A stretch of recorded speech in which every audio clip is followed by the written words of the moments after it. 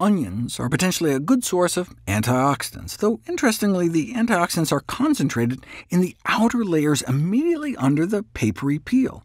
Unfortunately, most consumers discard these most nutrient-rich outermost layers, thus losing a valuable part. Here's some numbers. Look at that.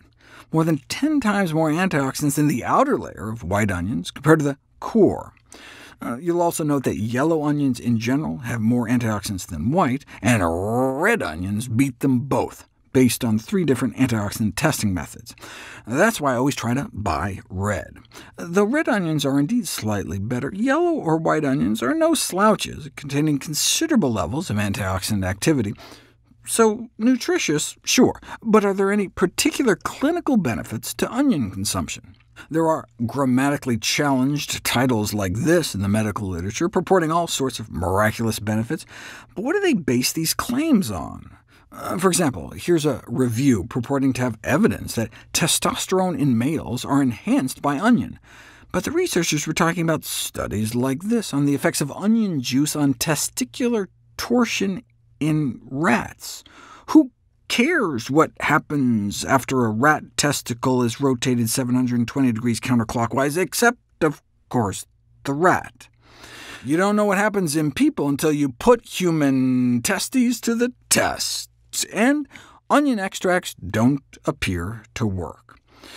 OK, what about bone health? Evidently, older white women who consumed onions at least once a day had overall bone density that was 5% greater than individuals who consumed onions no more than once a month.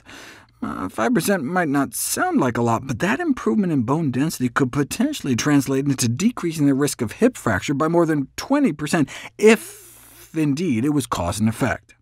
Daily administration of onion did cause a big bump in bone density. This opens the possibility for a low-cost, safe, and effective nutritional approach to osteoporosis.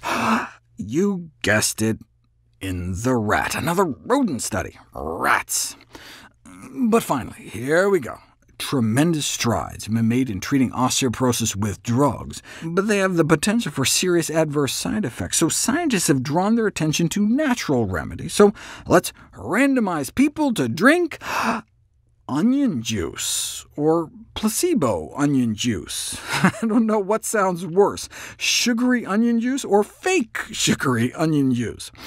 And as if drinking onion juice wasn't bad enough, it was all for nothing. It didn't even work. What about the anti-allergy activities of shallots, and any therapeutic effects on helping allergic runny noses? 16 such patients were randomized equally into an antihistamine group, or a group that got antihistamines plus some capsules containing dried shallot powder. And it looked like the shallot group did better, but there was actually no statistically significant difference in total symptoms between the two groups, so another hashtag onion fail. There has to be something onions can do. What about testing the effects of fresh yellow onion consumption on breast cancer patients to try to decrease the toxic effects of a chemotherapy drug called doxorubicin.